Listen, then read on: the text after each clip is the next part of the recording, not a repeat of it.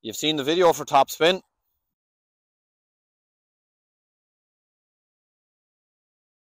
Top corner, crossbar, that kind of stuff. Shouldn't move.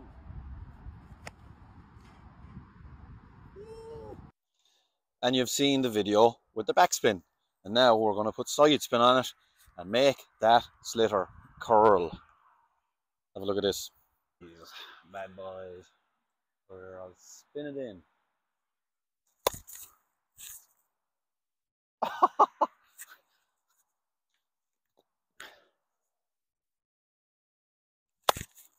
Rubbish.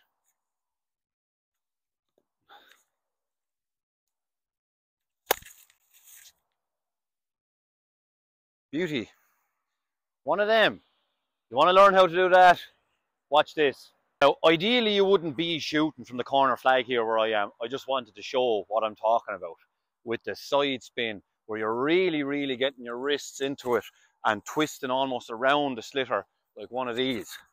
Okay, so as you're throwing it up to strike it, that you're getting ready to whip around the sliotar like that.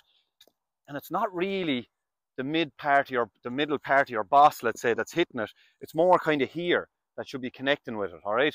So you get that kind of whip on the sliotar. And the top spin is you roll your wrist over, back spin is you kind of chop through it like that there.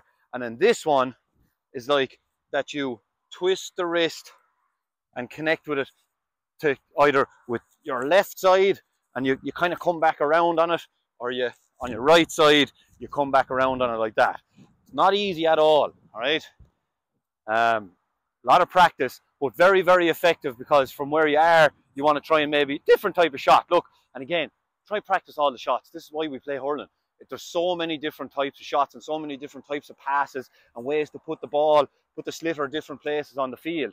This is why you do it right so this is the whip to make it curl one of them, all right?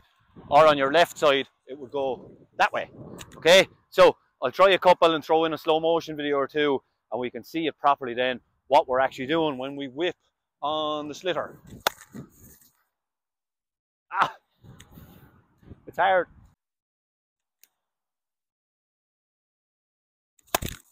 There you go.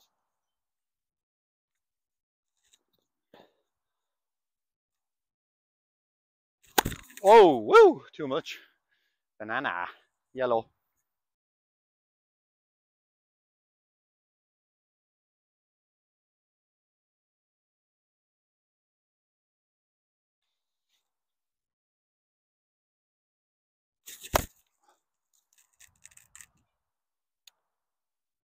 Hopefully you can appreciate the whippage.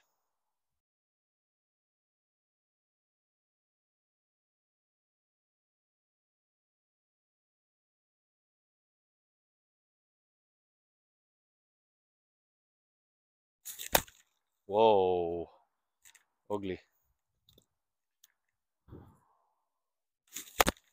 Oh, behave, behave. And that's how it's done. See, left side, right side, just twisting the wrist around it. Hopefully that helps. Look, a new shot to try out. And look, whether you're hurling or not, any day it's not raining in Ireland, you should get out and hurl. Make the most of it while you have the time. And again, Time to become savage, not average. Try all the shots. This is what the hurl is for. This is what your free time is for. You can do homework when it's dark. Get out and hurl while it's dry.